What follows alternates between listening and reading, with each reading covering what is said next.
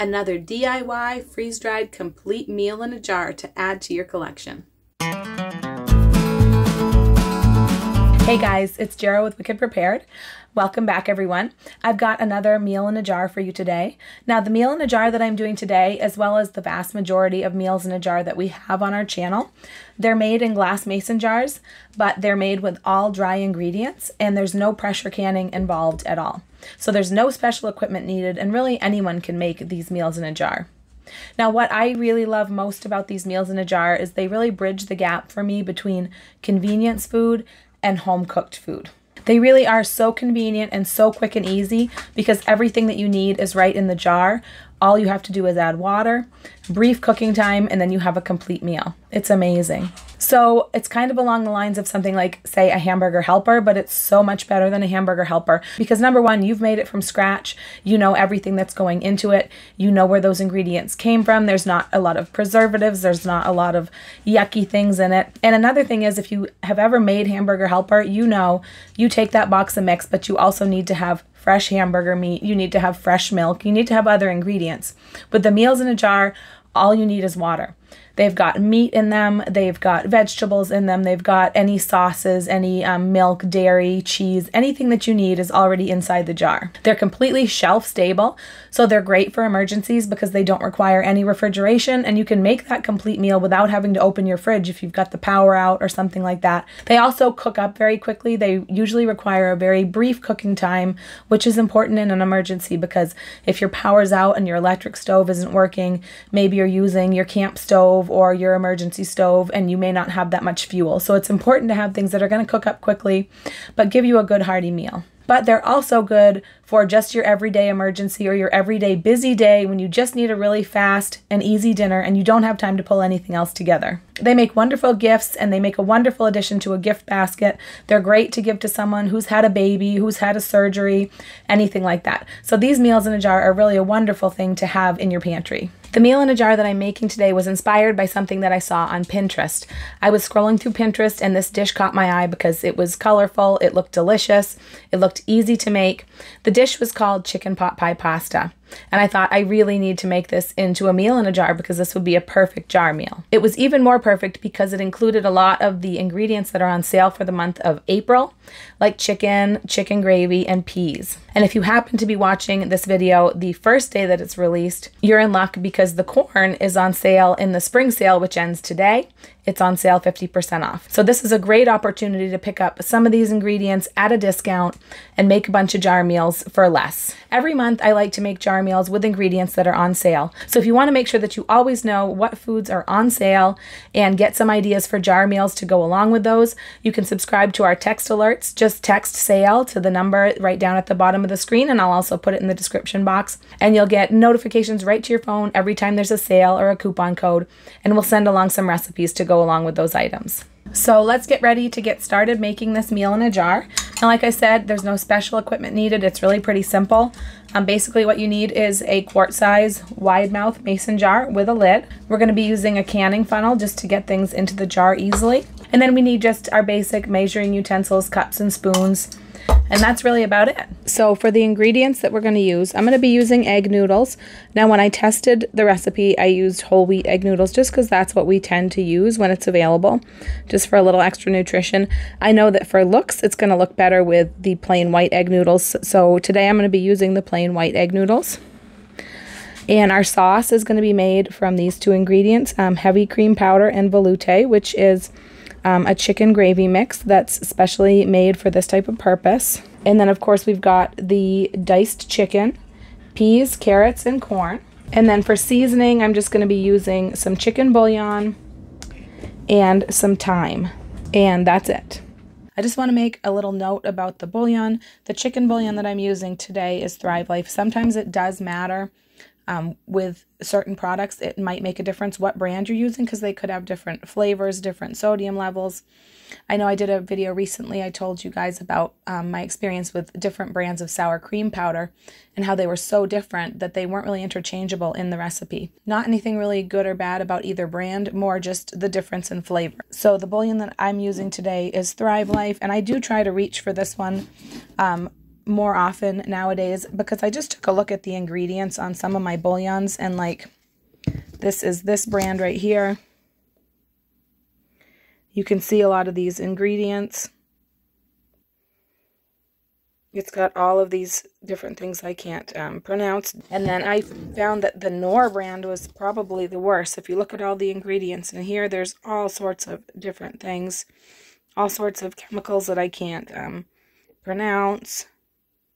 Um, it does have a monosodium glutamate, which of course is MSG. I know some people are super sensitive to that. I believe that's in this one as well. Yeah, there it is. Okay. Third ingredient, MSG. But so I did notice the difference in the Thrive Life's ingredient list. It's just a lot more pure and a lot more natural. And so that's why I'm trying to reach for this bouillon whenever I can. They only have chicken and beef though, so sometimes I am reaching for a different brand, but just keep in mind that if you use, um, depending on what brand of bouillon you're using, there could be a difference in flavor. So you can taste and adjust. Um, you can always do that with any seasoning in any recipe, obviously. And obviously, if you're trying to cut down on sodium, you can reduce the amount of bouillon a little bit, and people can salt and add seasonings to theirs after it's done being cooked if that's what they prefer. Okay, so we're going to get started here and just open up our jar. And I'm going to go ahead and just put the um, funnel in the jar so that we can get all the ingredients in easily. And the first thing I'm going to add to the jar is going to be two cups of egg noodles.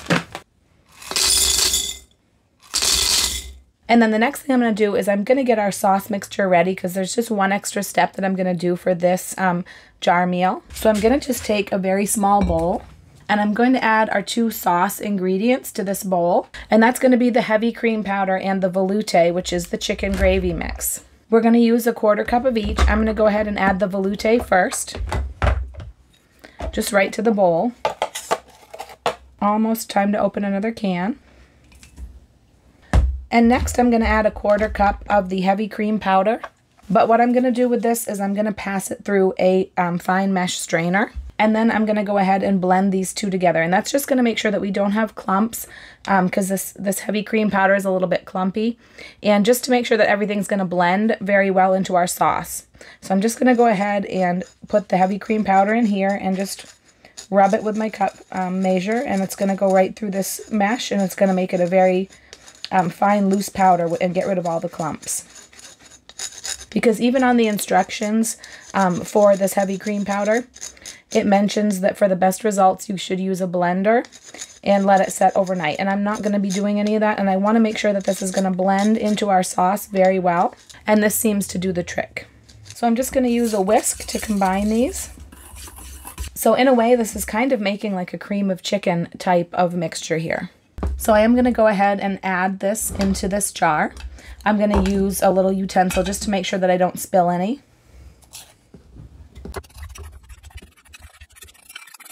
Now what I'm going to do now, because you can see that this powder is starting to filter in among the noodles, so I'm just going to give this a little bit of a tap and a shake to combine these ingredients more. This just allows us to add more ingredients to our jar because some of the more powdery ingredients are going to occupy the same space that the more bulky ingredients do. You can see that's filtered all right down in there. So the next thing I'm going to add is going to be the carrots. And I'm only going to use a quarter cup of these carrots because being dehydrated, they will swell up a little bit and they do have a very um, strong flavor. So a quarter cup is going to be all we need. So next I'm going to go ahead and add my chicken bouillon and my thyme right into the middle of the jar. I'm going to use a tablespoon of this chicken bouillon.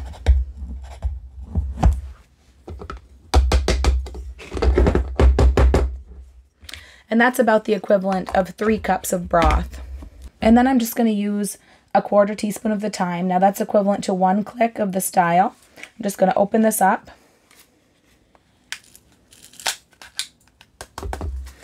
Give it one click and we're good to go. Now I'm going to go ahead and add my peas and my corn. And that's going to be a half a cup of each of these. half a cup of peas.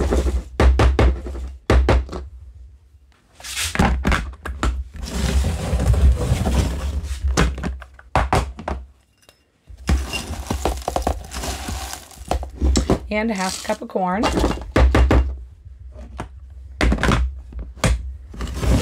Now you can see this jar is getting pretty full and I still have to add the chicken. I'm gonna go ahead and give it a little bit more shaking and tapping but um, the reason that I put some of these veggies down here is because of the color. It's easier to see um, you know, the, the layers that are in the middle than it is to see what's right up at the top. And so we've got all this white down here. I wanted to add some color here in the middle and then the white chicken will go on top. It's just going to look prettier. It's just an aesthetics thing. So next I'm going to add the chicken and I'm just going to be adding three quarters of a cup of the chicken. So there's a quarter cup.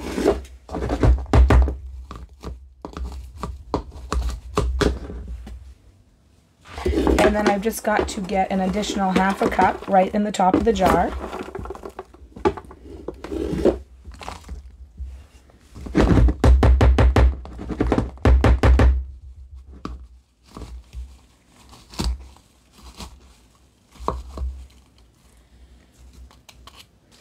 That was close. You can press this down.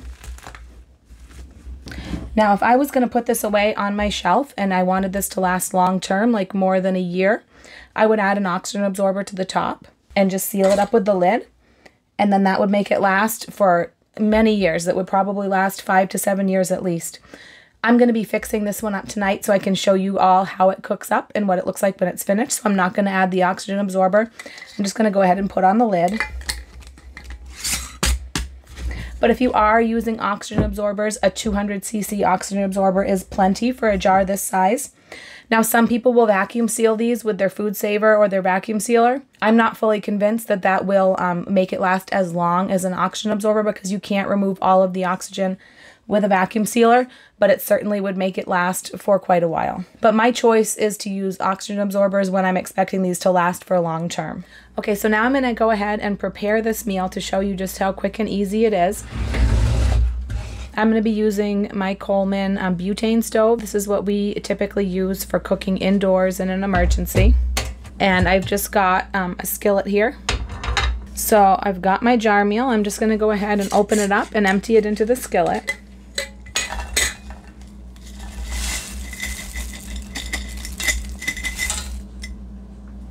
Now you can see that is a decent amount of food for a little quart mason jar. Now I'm going to go ahead and I'm going to be adding three cups of water right into the skillet.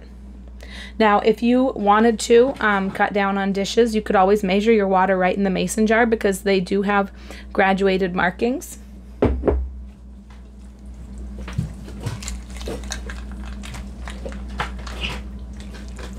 So that's three cups of water. And I'm just going to go ahead and stir this until everything is moistened and all of the powder is pretty much dissolved into the water. And then we're to turn on the heat. Okay, so now that this is all pretty much moistened and blended together, I'm just to go ahead and turn on the heat. I'm just to turn that down to about medium because we want to bring it up to a simmer. And then we'll turn it down low and put a lid on it.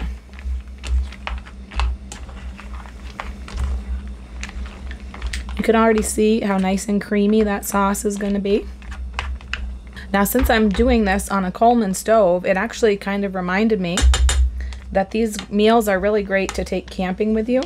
If you want to be able to cook like a nice hearty meal, but not spend all your time doing it, um, you can bring meals like these along. If you don't want to bring glass jars camping, or if you're doing some backpacking or something like that, these can be packed up in mylar bags um, you can seal them up with an oxygen absorber and they can last for just as long. Or if you know you're going camping and you're making these meals just for that camping trip and they're not going to be sitting around any longer than like a week or so, you could always put them into Ziploc bags or um, Tupperware containers, you know, something like that. All right, so now that you can see that this is starting to simmer, I'm just going to go ahead and turn it down real low. And I have to really turn it down because the stove cooks pretty hot. I'm going to go ahead and put a lid on this and I'm just going to simmer it. It's only going to take about 10 to 15 minutes. And I'm just going to open it up and stir it occasionally and keep an eye on it at a very low heat. Just enough to keep it simmering, but not enough to burn it on the bottom.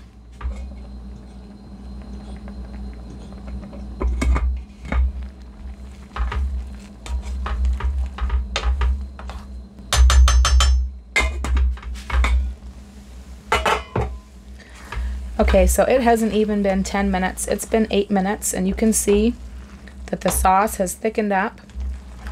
And I'm going to go ahead and give this a taste and see if the noodles have softened. And, um, you know, the chicken and the vegetables have all softened and refreshed. And if they have, then this is about done. I would just let it set a little bit um, to, you know, thicken up a little bit and cool off. So I'm going to give this a taste. All right, so that is definitely done. Got a clean spoon here because that one went in my mouth.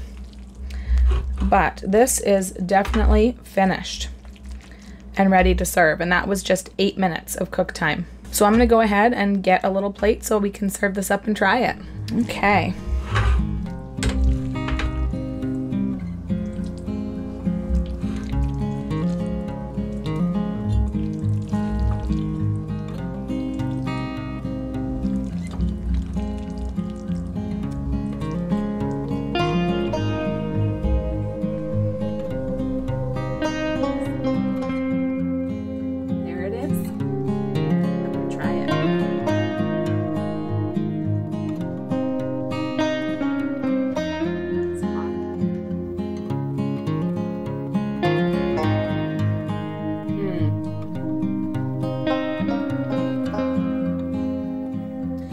Super tasty, guys. This is so yummy and it's just so homey and so comforting. This is a really kid-friendly meal, so if you have kids, I think this is something that kids would love. This would be something that would be very comforting to have if you're sick, and that brings up another great use for these jar meals. If mom usually does the cooking and mom's sick and mom really can't do the cooking, somebody else has to do it, or even if mom still has to do it, it's a lot easier to do something like this than it is to prepare a traditional meal. So a jar meal like this would be really great to bring to a friend who was sick. Great to have on your shelf for when you are sick. This is really delicious and really comforting. And I would know because I've been sick and I've been eating a lot of comfort food. Okay guys, thank you for watching today. I hope you all enjoyed this latest addition to our collection of freeze-dried meals in a jar. We sometimes get questions about things like the shelf life and how many servings these make. If you do preserve these with an oxygen absorber, then they're usually going to last at least, you know, five to eight years on the shelf. That could be changed if you put an ingredient in that has a lower shelf life, but most of the ingredients that I use have a very long shelf life. And so if you preserve this properly, it's going to last a very long time. Even if you don't use an oxygen absorber, I've had meals like this on my shelf sometimes for over a year that were still perfectly fine. As far as the servings go, that can depend a lot on who you're serving and what you're serving with the dish. Most of these jar meals serve anywhere from three to five people. If it's something like a soup that you know has more water added, it can serve more people, but that really does depend. I can tell you Mr. Wicked Prepared could have finished that whole skillet all by himself. He's a big guy and he's a big eater. If you're feeding younger children with smaller appetites, you could get quite a few more servings out of a dish like that. And of course, it also depends on what you're serving alongside. If you're having side dishes, salad, bread, things like that, it's going to go further. But we absolutely love having meals like this on our shelves, both for emergencies and just for every day. We will have a printable recipe card for you for this meal. We'll put that on our website and I'll have the link down in the description box, as well as links to all of the different items that I used or talked about in my video. Don't forget to check out the last day of Thrive Life's Big Spring Sale. There's some awesome bargains over there. Don't forget to use delivery if you do so that you can get free shipping and the best savings. If you made it all the way to the end of the video, leave me a pie emoji down in the comments. And don't forget to check out this playlist that has a lot more of our meals in a jar on it. I'm Jara with Wicked Prepared. Survive today, thrive tomorrow. We'll see you next time.